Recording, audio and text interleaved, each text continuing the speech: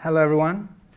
I am Demetrios Papadopoulos. I work for the Chrome team here in LA. And this is the first time I'm in a JSLA meetup, so I'm really excited. And thank you all for coming. Uh, so to today, I'm going to be talking about Lovefield, which is the project I've been working on for about the last 10 months. And there's also some other Lovefield team members in the audience. I will not point them out until we get to the questions. Um, so let's get started. Um, very briefly, I'm going to talk about the history of Lovefield and why did we start it. Um, then I'm going to show what exactly Lovefield, Lovefield is and what functionality does it provide. Um, we're going to have a little demo and we will do some live coding. And then if there is enough time, I'll, I'll talk a little bit about how it works under the covers. And we will have questions at the end. So if you have any, um, please hold them until the end, uh, unless you're lost and uh, or you can't see something or you don't understand. So feel free to interrupt me. Uh, let's get started. That's quite a lot. Uh, so back in November 2012, uh, my team started working on this large web application. It was actually a Chrome application, uh, Google Plus Photos for Chrome OS, and it had a very big data component. And one of the requirements was to be able to work offline and to also feel very fast when you navigate between the UI. Everything had to be very snappy, like a native application. So we started designing that app. We started from the data access layer. And it was obvious we would have to actually uh, persist some of the data in order to fulfill the requirements. So uh, we looked into the available solutions. And um, after we familiarized ourselves we didn't really find any solution that was fitting well with relational data, which is what we, um, what we were dealing with. Uh, and at the time, we had to solve that problem. And we did solve it by building a domain-specific uh, data access layer. And it did work. It solved our problem, kind of. It was very hard, to build it, hard to maintain, painful, and most importantly, we could not reuse that work for any other application because it was tailored for this specific uh, data set. Uh, so then the idea came to mind, what if we build a, uh, a generic structured data query layer for the web and what if we solve that problem for everybody else and prevent developers from uh, hitting all the difficulties, that, uh, facing all the difficulties we faced building this application? And that's, what, that's how the Lovefield idea uh, got started. So what is Lovefield? If we had to summarize it in one sentence, a relational database management system is written in JavaScript and is using IndexedDB as a backend. Uh, and before I actually present uh, the functionality in more detail, I want to give some insight into um, some design choices that you might be asking in your head right now. Uh, why did we use IndexedDB as a backend? So we took a look, uh, we took a look at all the available uh, persistence APIs, and um, WebSQL is deprecated since November 2010, and if it was still around, we would probably not have started Lovefield. Uh, so this is not good. Uh, web storage, also known as local storage, has a 5 megabyte limit in most browsers, and that's not good for the applications that we're targeting. It's not enough.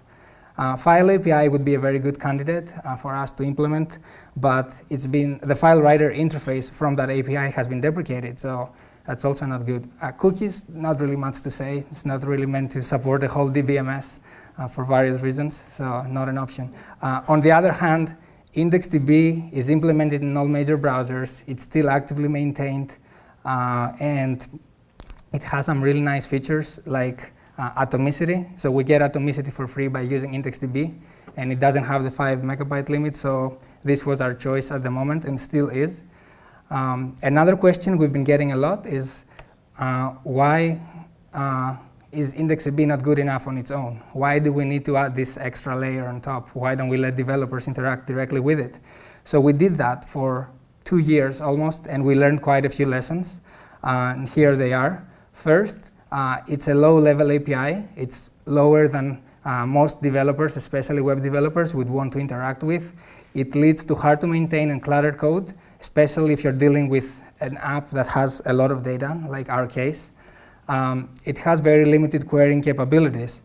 Uh, there is no table joins. There is no partial select or update. So if, you, if you're writing an object into the DB, you have to have the full object. Uh, if you're getting an object from the DB, you get all of it. You cannot just select a few fields. Uh, there is no filtering based on predicates. And there is no advanced sorting. So you can sort in one column, like you create a cursor, but if you want to like sort by this, and if there is a tie, sort by this other column, you cannot do it. Uh, in some way, this is expected because IndexedDB is an object store, so it's not really designed for relational data. So these advanced querying capabilities are missing by design. Uh, and finally, we learned about some uh, specification flaws. Um, I'm referring mostly to the transaction auto-commit behavior. If you have encountered it, you probably have felt the pain. If you haven't, it's basically when the message loop turns in JavaScript and you have a transaction in memory, if you haven't placed any request against that transaction, it will silently, in the background, commit, and then next time you try to use it, you will get back a nice error from IndexedDB, and you will be debugging. Um, the other uh, specification flow we've identified is loading a lot of data into memory, uh, bulk loading. It's very slow, inefficient, and that is because of the eventing scheme. So every row that you load into memory, it, calls, it calls back into your JavaScript page, even if you don't have anything interesting to do. And um, we, um, we have a solution for that. So LoveField basically mitigates all those issues that we, uh, I just pointed out. So here are the main features. Uh, database related. Um, offers an SQL-like API, and we will see that API very shortly in one slide. Um, select, insert, update, delete queries, just uh, like you have in SQL, if, if you are familiar. I'm assuming some of you will be familiar with SQL. Uh, the ACID database properties, this is atomicity, consistency, isolation, and the durability. Uh, it offers group by, order by, limit, uh, skip, and aggregators, just like you expect from SQL. Um, we have multi-table join and self-table join, and integrity constraint checks, and we, uh, includes a query optimizer analyzer, which is actually a very big part of the internals, and we will see that at the last part of the talk, hopefully. Uh, some other characteristics, it's cross-browser, works on all major browsers. It's built as a component, so basically you can drop it in no matter which JavaScript framework you've been using, and there's a lot of those. Uh, in the demo, we'll see we're using AngularJS. Um, it's Closure compiler friendly. If you do happen to use the Closure compiler, the code base of LoveField is fully typed, so you can get meaningful errors and warnings and whatnot. Uh, we have a lot of test coverage, and we're open sourced on GitHub. So this is kind of a main overview of LoveField. Uh, so let's see how to make LoveField available in your page. Um, so it all starts with a schema file. The user, in this case the developer, has to um, has to provide the schema in the YAML format. The schema describes the structure of the data. So basically what tables are there, what columns are there per table, the types of each column, and any indices that you want to create, and any constraints you want to place on those columns, not nullable, nullable, unique, not unique, etc. Uh, this is a very plain schema that I have here that has only one table and two columns and no constraints or indices. Uh, so you pass that schema to the schema parser and code generator, which is uh, abbreviated as SPAC. And uh, basically what that does is generates a bunch of JavaScript classes for you, all in one file. Uh, the, mo the, most interesting one is the, the one you see at the bottom, the get instance. This is basically how you open a DB connection, and this is how you uh, get access to the LoveField API. Uh, you need a DB connection. So the other thing you need to include LoveField in your page, it's uh, the LoveField core library, which you get from the GitHub repo. You either choose the minified version or the debug version, and then you include them in your script, in your page in that order, and you're ready to, ready to use LoveField. Um, so, okay, so finally, let's see how the API looks like. Um, I'm going to be comparing SQL to LoveField. So on the left, I have a few SQL queries, uh, fairly simple select from uh, star from player where height greater than 200 centimeters.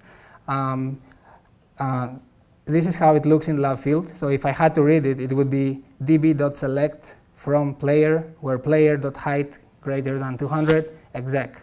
So the color here depicts the equivalent parts between the two APIs. And LoveField does look and read very similar to SQL-like. That's why I said it's SQL-like before. Um, the main difference here is that on the left, we have free text, which means that there is a parser and needs to parse that text. On the right, we have declarative syntax. There is no parsing. Uh, it's basically a collection of function calls. We're using the builder design pattern, where you call objects on a builder until you're done. Uh, and then the exec method is basically executing the query. It returns a promise, and that promise gets fulfilled when the results are available. Um, another query, very similar. In this case, we're selecting a specific column, and we're ordering by height uh, in descending order. In Lovefield, this looks um, very similar to the previous one, except that select now receives an argument, uh, player.name. If you're wondering where this uh, object player comes from, it's from the generated code, and player is basically the schema of the table we're, uh, we are querying. Um, so and then order by uh, parenthesis player.height lf order dot descending. lf is the namespace we've been using for uh, some operators that we have uh, because we don't want to pollute the global namespace. Uh, another query that has limit and skip, I won't go into detail because it looks very similar. The only difference is uh, limit 50, skip 100. If you were to implement pagination in one of your pages, you would use this kind of query to, to create those uh, pages. Um, all those queries have been dealing with only one table, so let's go to a little bit more complicated queries. So joins, uh, two tables at least. Um, I'm assuming I have a different schema here, um, employee and job relations, where employee has a foreign key on job. Uh, so e, uh, e.jobid equals j.id, that's my join condition. So here I'm performing a join between the two tables and I'm uh, looking for a specific employee ID, ID 1234. Uh, in LoveField, uh, it looks uh, like you see on the right, db select from employee comma job where, and then I'm passing a composite condition, which I get it from lf op end, which is our end operator, uh, exec. So this is the implicit um, join syntax, and there is one more syntax that is uh, entire, the, the, queries are entirely equivalent. Uh, you see on the left, this is the explicit SQL uh, join syntax, and this is the explicit Love Field join syntax, where there is from still takes one table, but there is a new clause called inner join, and holds the, the table we're joining and the join condition. Uh, those queries are uh, equivalent. So the last example I want to show from the API is the self-table join. So because love field doesn't have subqueries, um, we took the time to implement self-table join. So basically some subqueries, you can implement them as self-table joins. In this case, um, I, I, have uh, pairs of jobs and I'm trying to find uh, pairs where job one has a minimum salary equal to job two, uh, equal to the maximum salary of job two. Uh, so in LoveField, uh, you need to create an alias before you actually build your query, and that is done with an as call. So job.asj1 creates one alias, and job.asj2 creates another one. And now I'm using those to build my query. Uh, db select j1.name, comma j2.name from j1, comma j2, where j1 means salary equal to j2 max salary exec. Um, so by this time, I'm hoping you start, start getting a little bit familiar with the API. What I'm also hoping is that for people who are familiar with SQL, the learning curve is really not steep at all uh, because it reads and looks very similar. Um, at this point, let's switch to the demo and actually see it a little bit in action. So for this demo, um, I really was hoping the resolution would be better. But uh, for this demo, I'm using a database of all Olympic uh, medals from 1896, basically the first uh, Olympic Games, modern Olympic Games, until 2008. And uh, if I open my console here, uh, you will see that in IndexedDB, is that big enough? Uh, there is one table called medal, and it has um, a lot of entries. You, you, like I can, it's about 20,000 entries. And let me just open one just for fun. So it looks like this. It has city, color of the medal, country, uh, discipline, event, and other stuff, first name, last name, uh, and the year. So let's perform a few queries. So first, I'm going to use that form that you see on the left to perform some queries. Um, let me scroll down a little bit. Uh, since the, the most prestigious event of the Olympic Games is the 100 meters, uh, I will select 100 meter, and I will try to find all the gold medalists uh, in that event. And let's pick men first. So I'm hitting search and I'm getting all the results here. Let me scroll to the top. Um, this is resolution is very small, uh, but you see you see the results. So it starts from 1896 and it goes all the all the way down to 2008. Usain Bolt, 2004 Justin Gatlin, etc. Um, if I go back on the left, you see here that I have a SQL version of the query we just executed.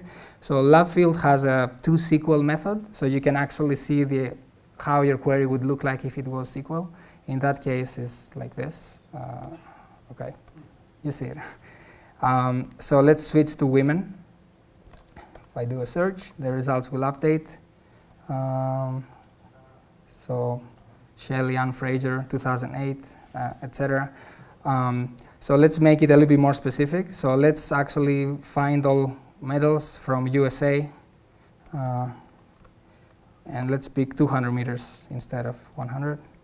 Um, okay, search. So I'm still looking at women. So anyway, the, the point is that the results update. And this is the last query I'm going to do from the UI. And we're actually going to go into the dev console and see uh, a little bit better what's happening. So I'm going to open the dev console now.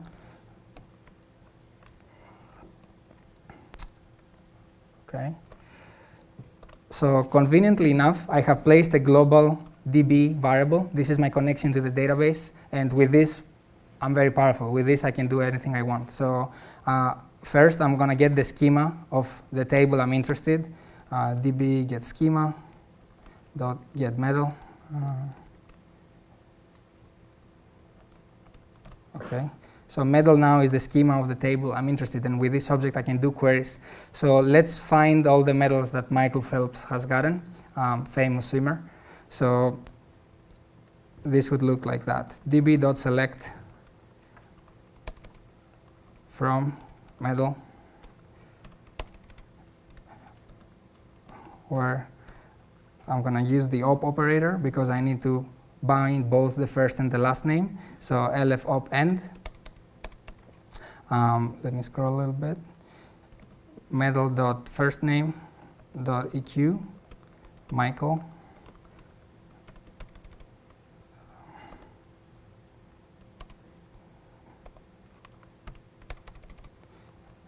Medal dot last name um, dot eq Phelps.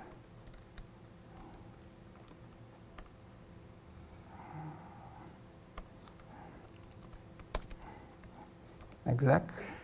And then when that is ready, I'm going to display the results, which is another global function I've placed. So the query executed and the UI updated. Let me close this for a second. So there's 16 results. So apparently Michael Phelps has 16 medals until 2008. And we see all of them. But there is a lot of information on this table, and I don't want to keep all the, all the columns because they kind of distract me. So let's modify our query to actually include less columns. So let me bring it back up. Oops. All right. So now, instead of passing nothing to this select function, I'm going to say medal.year, medal.color, um, color and uh, let's select the city. City. Uh, no, let's select the event. Event. So once I execute this, uh, let me close this again. So now we have a nice uh, table where only the things I'm interested are actually being displayed.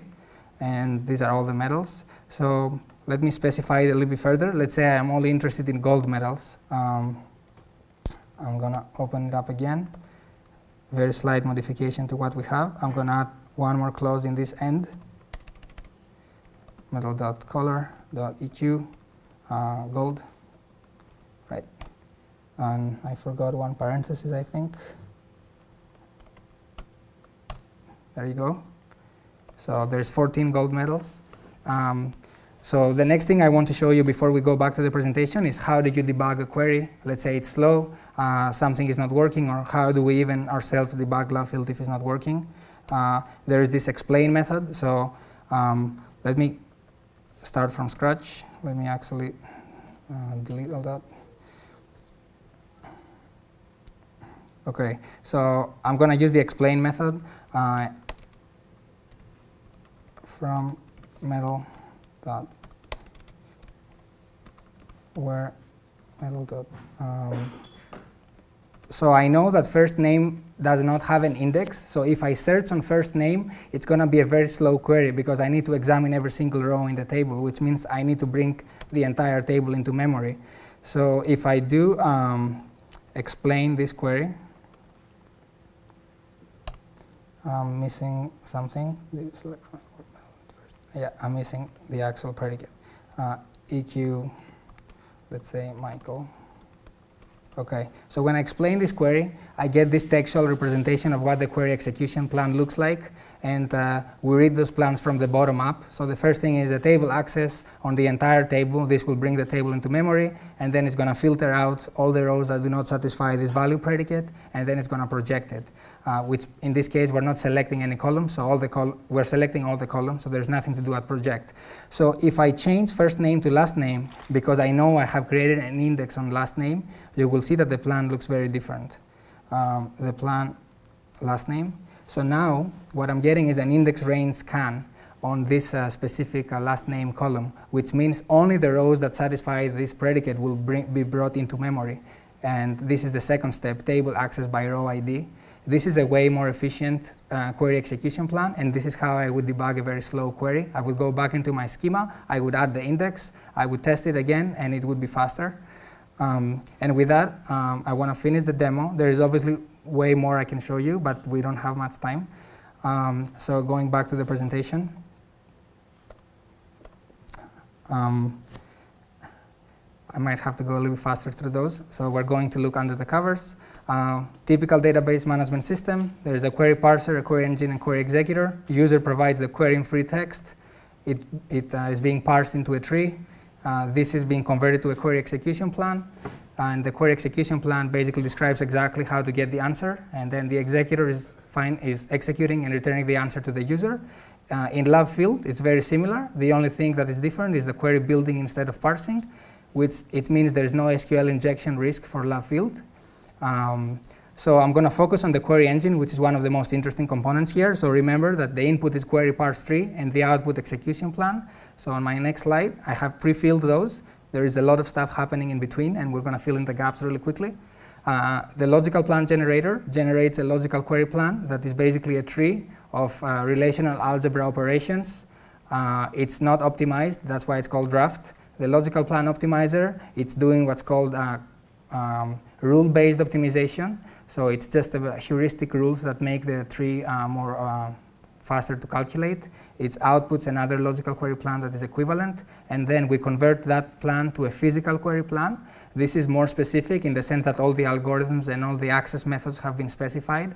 Uh, this is still draft. There is a second set of optimization, which is the cost-based optimization. This one actually takes into account all the indices that we have, the snapshot of the database, uh, how the data looks like at this particular moment, and it outputs the final query execution plan. So very quick example. Uh, this is the schema we used before, employee and job. There's one foreign key on employee.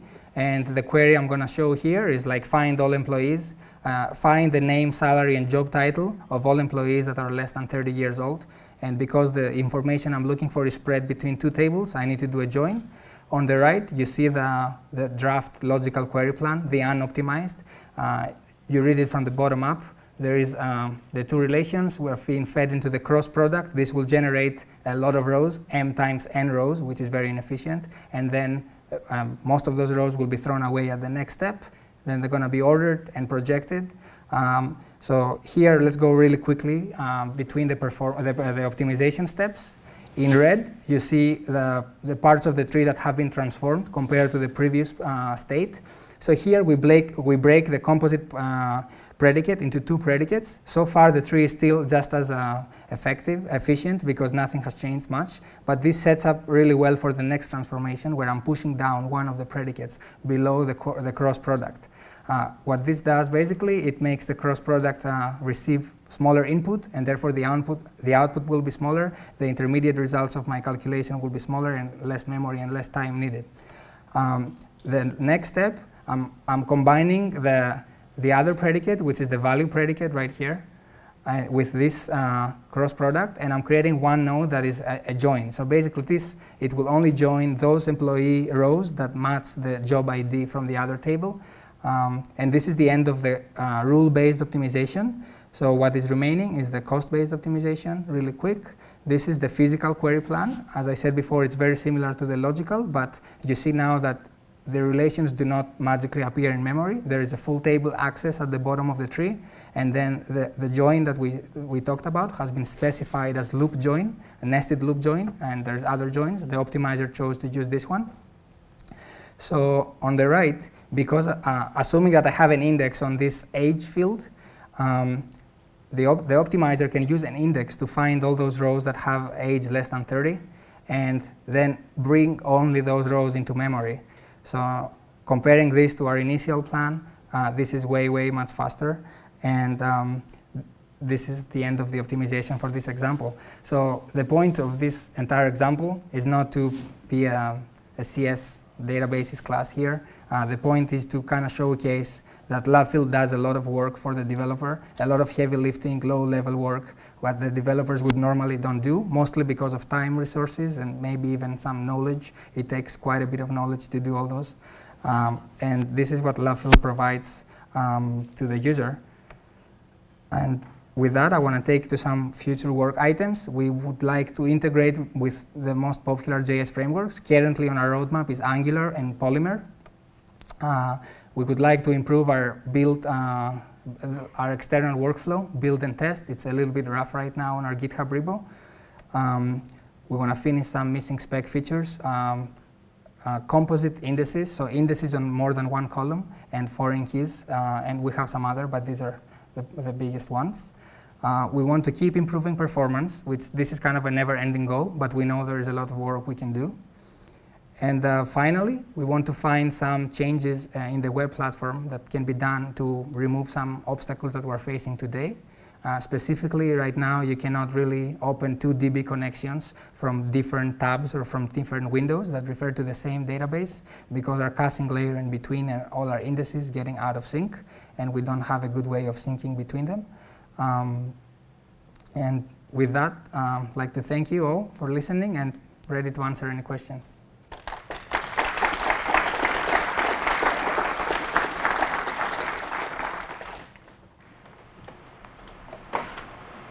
Do you support events like triggers or, or data types, specifically dates, date times, can you start on date times?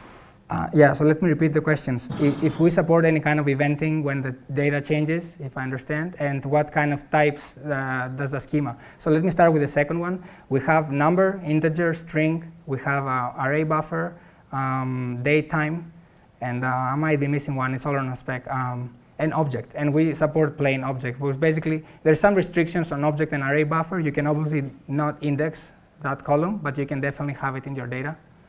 Um, and uh, if we support, yes, we have this feature called observers. You can basically take a query and observe it. So the, the API looks like db observe, and you pass a query, and then a callback. And every time the results of that query would change, you could get a callback. You, your callback will be called, which initially we thought about observing a table, but then we figured out that observing a query is more powerful.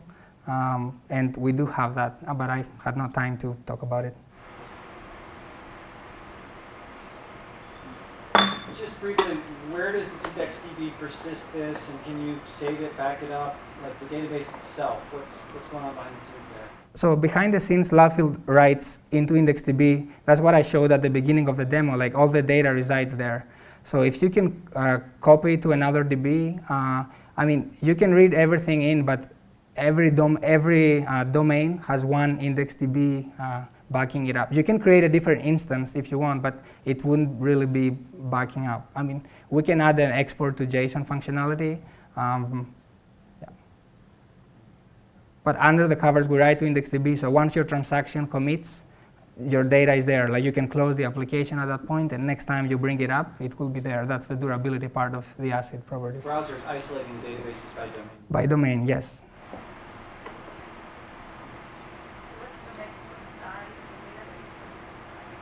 So the maximum size of the database is the question. So um, I, I, do not think all browsers have the same. Uh, I believe Chrome has a 50 megabyte limit, but you can extend that. I think it brings up an info bar and asks the user if you want to allow this app to store more. I'm not entirely sure on that.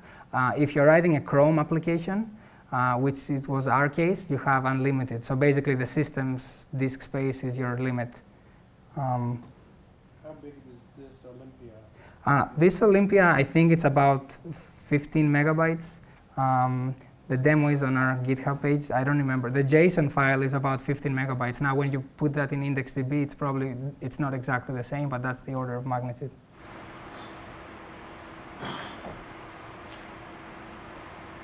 Um, so you guys are generating JavaScript code before you serve this. Uh, was there a reason you chose not to include the love field library with the generated code?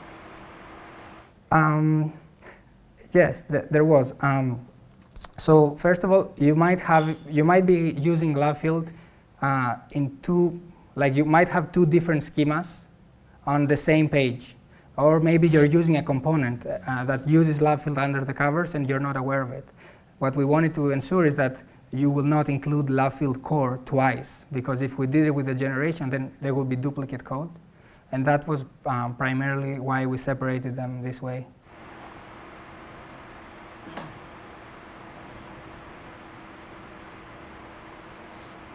Sorry. It. Yeah, um, yeah, so from your perspective, like as a developer, what, what is the workflow for, I guess, like syncing the data in IndexedDB with like a greater database? Like for instance, of like having Google Google Plus Photos, people's photos are, you know, in the in the Chrome app are, are backed up on their drive, but they're going to want to be able to put that online as well.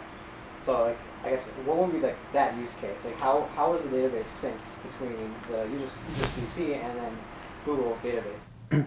So, I mean, the truth is that the browser does not have access outside of whatever it allows. Like, this is for security reasons. We cannot access um, a physical location on the user's disk. Um, so we cannot, like, take the data from, you know, from your C drive and put it in IndexedDB. What we can is we can take it from the server and put it in IndexedDB. So when you close it, when you lose the connection, you can still use the application. Uh, so it would have to go through the server to make it into IndexedDB in that case. That's what, I was asking is like, so you guys, so the, the DB itself, like your, like, like Lovefield doesn't have any, any visibility to another server somewhere.